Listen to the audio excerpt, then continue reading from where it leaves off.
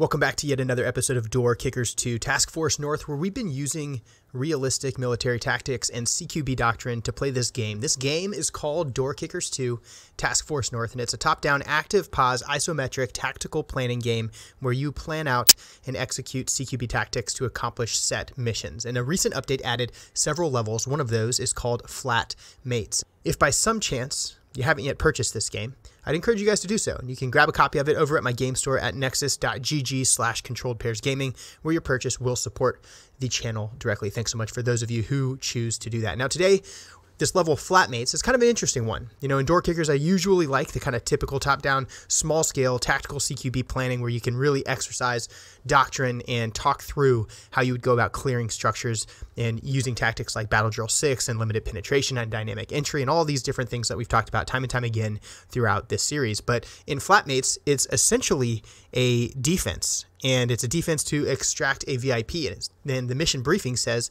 that your agency safe house is compromised and the enemy is seconds away from kicking down the front door. Extract the VIP safely. So here we are two, you know, um, intelligence operatives that are tasked with defending a VIP. The VIP is located right here. You can see our safe house, and our mission is to get the VIP over here to safety. Meanwhile, the enemy is going to be coming through the front door. Of course, the front door is also our primary exit to get our VIP friend out of here. And when I look at this thing, I really kind of look at it in three phases, essentially. And the first is to secure the VIP by putting him in a panic room or a safe location where he can wait out the gunfight that will immediately ensue. And the second phase is really fighting the defense itself. And we're typically on the offense in CQB, but here, at least in the second phase, we're going to be on the defense. And my goal during the defense is to canalize and destroy the enemy as they come through this fatal funnel. We're lucky because the mission brief says they're coming through the front door. Um, and so I've chosen to put one of my operatives with the VIP and the other one in a defensive fighting position capable of engaging that front door. This defensive fighting position is exposed to a balcony. That's extremely dangerous and not something that I would prefer to do under realistic situation because well, we know that if a true tactical team is coming through these stairs and then through this front door, they're probably also going to have some sort of sniper overwatch coverage, and this dude could be at risk just by virtue of him being exposed. Um, but it is also the best position to defend the fatal funnel from a geometry standpoint because I have standoff from the door, I have cover that is from the wall on the external portion of the balcony. And then I also have a crew serve weapon in the form of the M249 special purpose weapon, the lighter version of the M249 saw. And then Zim over here is running the AK-105 suppressed with a Glock 19. Um, and then the helmet and cameras and all that sort of stuff. I'm actually going to take off the night vision, which is something we don't typically do. Um, but I've been told that having night vision on reduces your field of view in daytime. I don't know if that's true or not but I'm going to do that just for today. The goal here is going to be to engage them in this fatal funnel, destroy them there, and as soon as we can get some breathing room, then launch to secure foothold and get our VIP to safety. We'll see how that goes, and uh, and at the very end, you'll be able to watch it back in the playback that we always enjoy at the very end. These are glass doors up here, so luckily I'm able to rapidly reposition and then immediately get eyes on that door. I've told everyone to be quiet for now. I'm going to have this VIP barricade himself in this room, and I'm also going to open this door up and then give myself some cover here while we wait for this thing to go down. Have this VIP run. I'm also going to have you run. All right. They're already open. That's a suicide vest coming through the door. I'm just going to go ahead and immediately suppress this door. Here. Never mind. This is a problem. if this gunner can't immediately get these suicide bombers taken out, we are in a world of hurt. I also have a breach up here, so I could be taking a flank if they're coming this direction. I don't know if they are or not. This door is still showing locked. Um, but yeah, this is uh, this is problematic.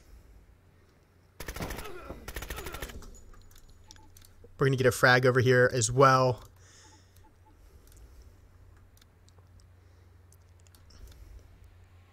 I'm wondering if I can get my field of view enough that I have some situational awareness on this door in case they are also doing an explosive breach and attacking from the bathroom over here.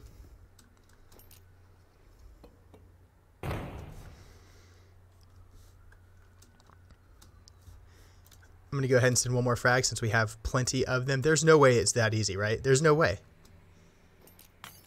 Yep, there's that breach.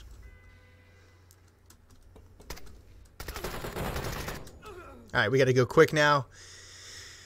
Um, the challenge here is, of course, I don't have a lot of retrograde options. I think we're going to do it this way.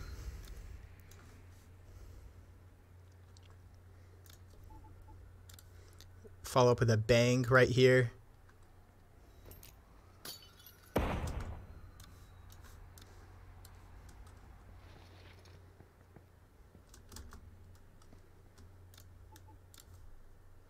Put one more frag here.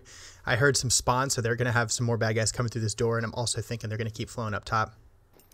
For, as soon as that frag goes out, reposition there. Go ahead and move my VIP into a position where he's ready to go.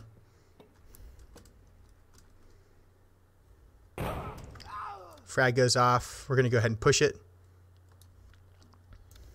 Primary is the door. I'm a little bit concerned that they may have come this way and opened this door, so that could be a problem as well. We'll check that here and then immediately switch back here. Yep, there's the problem. VIP back into cover. These guys need to get dead fast.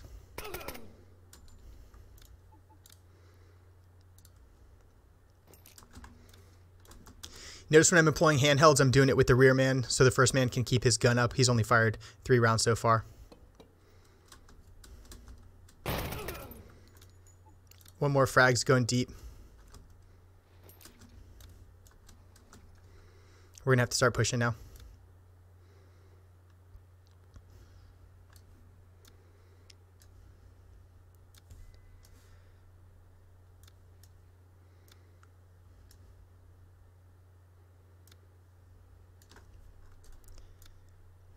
Again, move my VIP up. We're going to have to just keep pushing. I'm trusting my lead man to be able to take that shot. We also have a grenade right behind him.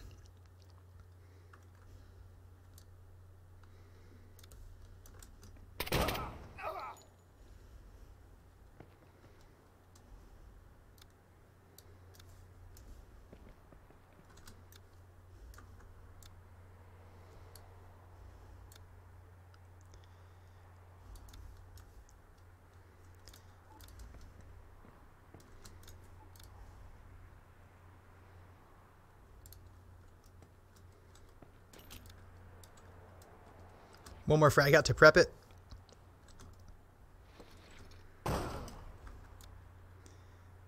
We cleared to the left with uh, a frag, so we're going to clear right with guns.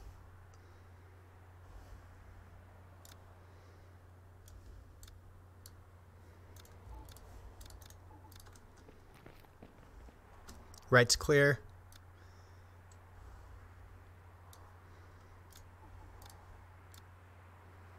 VIP is going to extract.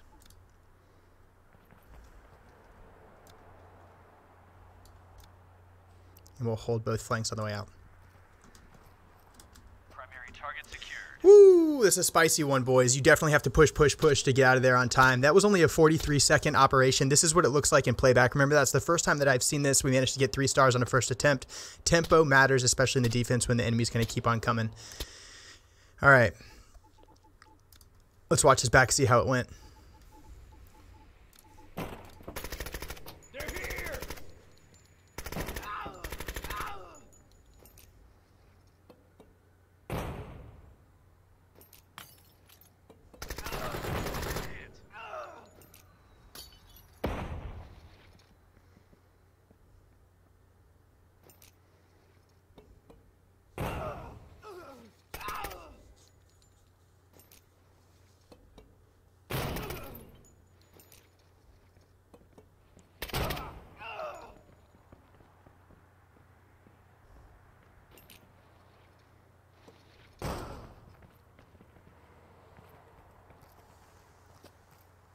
Target secured.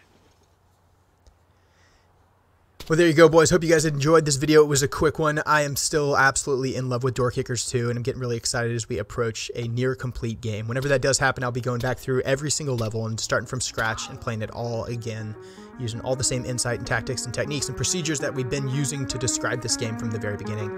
I'm Controlled Pairs. This has been Door Kickers 2. Thanks for watching. I'll see you guys in the next one.